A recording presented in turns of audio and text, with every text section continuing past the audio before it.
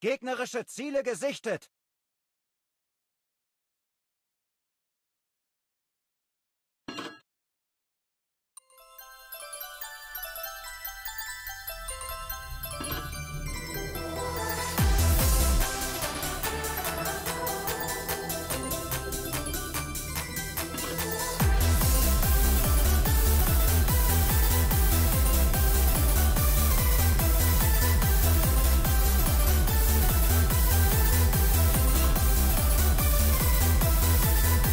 Gegnerische Torpedos gesichtet.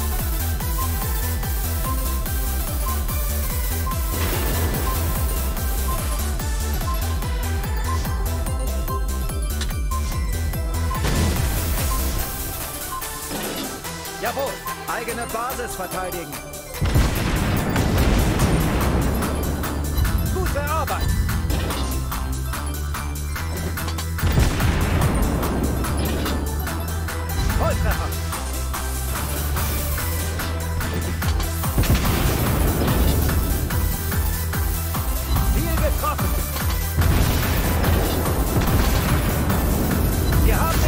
Getroffen.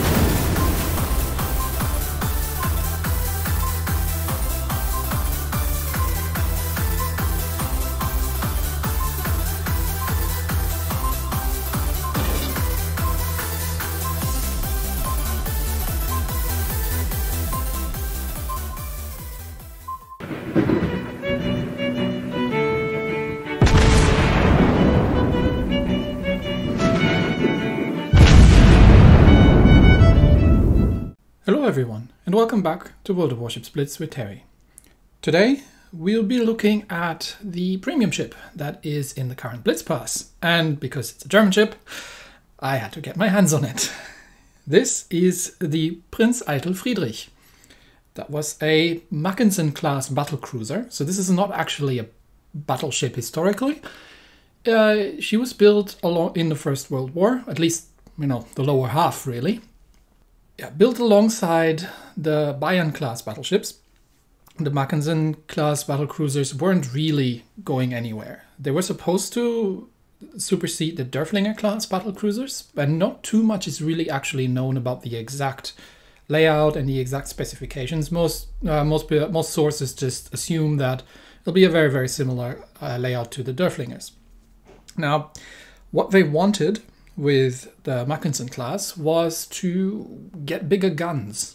And the problem is, if you have bigger guns, you have heavier turrets, which means you either your ship is lower in the water, which means your ship's going to be slower because it has a higher displacement, or you have to make a bigger ship, which then has limitations because you have to actually find a shipyard to build it in, and you have things like canals to get the ship from the shipyard into the ocean which have a certain size. And if the ship's bigger than the canal, then you have a ship that you can get into the ocean, which is generally considered useful for ships to be able to do. So uh, there were certain limitations. I think a tonnage limit that they set was 30 uh, 30,000, because otherwise they just wouldn't have been able to squeeze the thing through. But they did want to upgrade the main guns, uh, actually initially to uh, 380s, but because they were too big and it would have made the ship bigger, uh, but they did want bigger ones than the 305s they had previously. They settled on 350s. So um, somewhat of an interesting caliber that we haven't really seen in the German line quite yet. But yes, she was never completed because, well, um, like with all the with all the other naval expenses, eventually they focused more on submarines, and resources were needed elsewhere, and then the war wasn't going all that well. Everybody kept dying, and nobody got anything done. And in the end, uh, I think only the hull got got built and was actually launched, but they never completed the turrets, the superstructure, and all the other bits that are generally considered useful to have in in a warship. And the hull was then eventually scrapped somewhere in the 1920s because nobody really knew what to do with it. So, um, Prinz Eitel Friedrich, named after one of the sons of the emperor, by the way. And uh, Eitel is an interesting name uh, it's not a name you find in, in German today anymore, but uh, the word Eitel actually means uh, vain. And I don't think that's what it meant back then, but for German speakers, it still kind of sounds. Basically, this this ship is for, for a German who who just reads this. This ship would be called the Vain Prince Frederick. so, can, can you have a vanity with this ship? Let's let's explore. Um, Obviously, this being a tier 6 premium battleship or battle cruiser, really, we're going to have to co compare her to the Bayern and um, potentially the Graf Spee. But let's have a look first.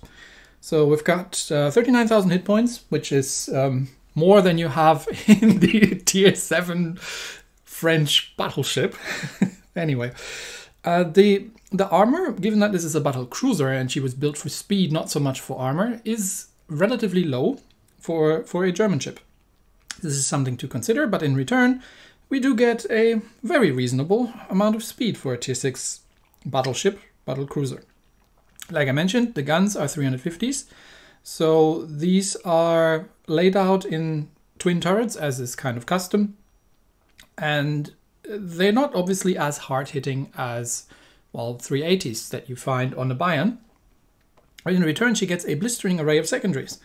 So we've got the main 150 mil secondaries in in uh, uh, single casemates, two rolls of seven, and we've got the 105 millimeter dual purpose guns, uh, eight twins uh, all around the ship, which are the auto secondaries on this. Which means she also gets a slightly better large caliber AA. Let's actually compare her.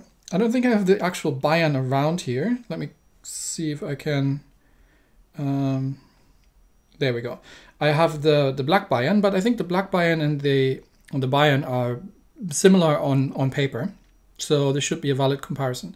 Because the Bayern obviously is the tech tree ship that you can get for free, whereas this one you have to pay for.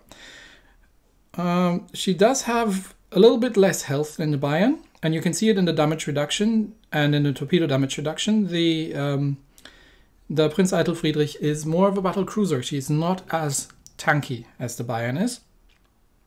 The max speed, on the other hand, she is uh, well a valid 4 knots quicker than the Bayern. She's slightly quicker to get up to speed, and she is somewhat more maneuverable than the Bayern as well. The main guns, well, obviously being 350 millimeter, have a somewhat reduced amount of alpha damage, and they're not quite as citadel happy as the Bayern's 380s. She gets more she gets four more of the 150 millimeter main secondaries and she gets uh, two twins more of the auto secondaries. Other than that, the values on the secondaries are exactly the same, all both in range and in, uh, in damage and everything else. And yes, because she gets more of the 105 millimeter dual purpose guns, she actually has a better large caliber AA as well than the Bayern. In terms of concealment, uh, it's, it's, a, it's the same. Uh, I've got oh sorry I've actually got the historical camo here. That's I should I should take that away. Otherwise it's not a fair comparison. So sorry, let's do that again. Um, oh, she actually she actually has more health than the Bayern. Sorry, I take that back. She has very slightly more health than than the Bayern, but still not not as good as an armor uh, not as good an armor protection. And yeah, other than that, uh, range is is very similar on the mains and the secondaries are completely identical. Only that the Prinz Eitel Friedrich obviously gets more of them. And yeah, concealment wise, uh, it's it's not a big difference. Ship skills. Let's have a quick look. Uh, standard standard stuff for for German ship, uh, sonar and precise aim. So if you if you're training captains, it's, it's absolutely viable. Layout wise, equi equipment wise, uh, again, I've built her for for secondaries. Although you are have you are ever so slightly less capable of brawling in this ship. Um, because of the slightly reduced slightly reduced armor and you feel that so she, she does take damage quite uh, quite easily but I still think that, especially against destroyers with the increased maneuverability and very, very uh, good set of secondaries, she is actually quite dangerous. So, secondary secondary module, uh, propulsion, and steering is the setup that I've, I've gone with. Uh, the commander, I've, I've just put uh, Franz von Hipper here because again, this is a premium ship, so I can, I don't know, I can use it as a captain trainer. He is not quite at level 11 yet. I'm very much looking forward to the APCS. But yeah, the the key the key parts here, and you're going to see that in battle, is the improved mark, marksman skill, um, the uh, recon, and especially the sixth sense. So I will actually see who's targeting me, which in a, a ship that relies more on maneuverability than on on tanking is is a good thing. Is really a good thing to have. And yes, obviously the improved close quarters combat expert, which gives us better dispersion on these things. But uh, yeah, otherwise you you can use her totally as a captain trainer for just normal German battleships. That's absolutely a fine set. The uh, the battle honors, given that this is a tier six, you're gonna get copper for it and it's it's not difficult to it's not difficult to get really. What else to look at? The historical camo. The historical camo gives us hit points, range, dispersion, and torpedo damage reduction. So more geared towards the main guns. And the main guns aren't going to be as punchy as, let's say, the 380s of the Bayern. The, the, the, dispersion at long range isn't great, but you're still perfectly capable of uh, dealing with, uh, with cruisers, and I would still be firing armor piercing at enemy battleships. But yeah, it's, it's all about the secondaries, as is common on German battleships. Anyway, um, let's let's have a quick battle, and then um, we'll, we'll, I will talk about quickly if it's worth to get the Blitz pass. We're out here on Frozen Shelter in Epicenter mode. And Epicenter mode, honestly, has been annoying the crap out of me recently because I've been trying to grind through the rune. And I probably get, I don't know, about 75 80% of my battles in Epicenter on the rune. And the rune is really, really not very useful in Epicenter mode. But this isn't about the rune, this is about the Prinz Eitel Friedrich. So we're playing Frozen Shelter Epicenter, we're bottom tier, uh, King George, Colorado, Queen Elizabeth, and we do have to watch out for that De Grasse. Now De Grasse is a very, very dangerous ship because he can burn me down, and obviously we have three destroyers and uh, De Grasse and Duca might might make mincemeat out of them in the center. So what do we have to watch out for? Two enemy destroyers, Aka and T61. Uh, so we'll assume that our DDs are going to going to head for the center, and uh, we'll see where we spawn. Epicenter in in a battle cruiser. You don't it's kind of same like with the odin. You don't want to just blindly rush into things. You you do need to find yourself a position where you can take uh, where you can take a defensive stance if necessary until you know where the enemy how the enemy team is dispositioned. So i'm going to head along with this jervis here. Just uh you just down the side next uh, and that island there in front of me might be a good place to just position myself initially and see where where the enemy team is. Now, I haven't spotted anyone yet, but they are in the outer ring, obviously. And uh, yeah, again, you really don't want to rush blindly into the center with a ship like this, especially bottom tier because if you get focus fired, you don't have the same tanking abilities than you say have on Bayern. But she does 27 and a half knots uh, of speed, which gives you more capabilities of repositioning. And this is what this kind of play is all about in these sort of ships. Now we are taking center. That our lone Jervis is going center. The other Jervis here is going left flank. So I'm going to head going to head down left because that allows me to assist in the capture of the outer ring And we still, oh, there's the De Grasse. Okay. So what I want to do now is I want to make sure that that De Grasse isn't isn't getting um, isn't isn't getting shots at the center. So there could be an enemy destroyer so in that gap, but I'm not spotted, so there isn't right now. And uh, I, I want to support that Jervis and just keep the De Grasse from doing what he's doing best, which is, um, you know, like setting things on fire and and helping out in the center.